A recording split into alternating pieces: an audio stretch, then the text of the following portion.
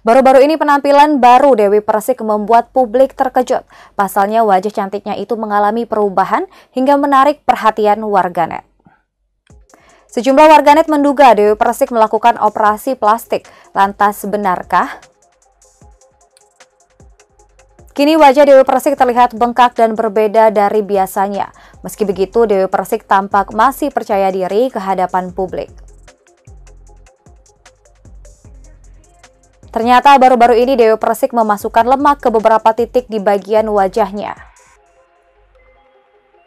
Berkat tindakan kecantikan itu, wajah Dewi Persik pun tampil beda. Menurut Dewi Persik, hal itu dilakukan demi menghindari tindakan filler wajah. Terlebih DP, sapaan akrabnya mengaku jika takut dengan jarum suntik. Perubahan wajah Dewi Persik pun membuat publik kaget. Penampilannya itu menuai pro kontra. Banyak warganet yang mengatakan kalau wajahnya lebih cantik sebelum dia melakukan perawatan.